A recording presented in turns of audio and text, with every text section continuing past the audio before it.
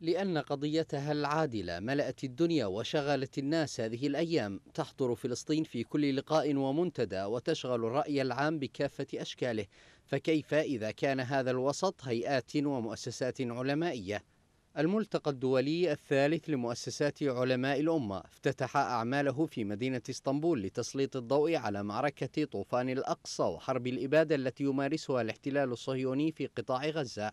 في ظلال طوفان الأقصى وجد العلماء أن واجبهم أن ينسقوا جهودهم وأن يرتبوا نشاطهم فيما بينهم فالتقت اليوم المؤسسات اليوم والغد بإذن الله تعالى مؤسسات العلماء من بلاد العالم الإسلامي لكي تقدم ما لديها ولكي تتبادل الخبرات والنشاطات نصرة لأهلنا في غزة العزة. ومن أكثر من ثلاثين دولة تداعى العلماء للمشاركة بأعمال المنتدى والقيام بدورهم الريادي في دعم الصامدين في غزة والتباحث في سبل تحويل هذا الدعم إلى عمل فعال.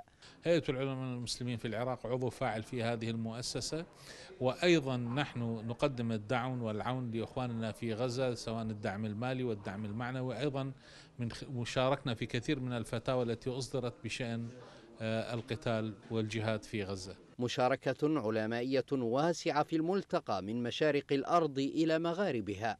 نحن كتركستانيين نشعر بآلامهم و ونشعر بما يعانيه أهل غزة ودائما نريد أن نقدم لهم ما نستطيع آه، من الدعم. جئنا أن نرفع الصوت نحن ضد أي ظلم والعدوان وخاصة ما يجري ويحدث في غزة للأسف أمام العالم. وهذا القتل أو ذبح لابد أن يتوقف.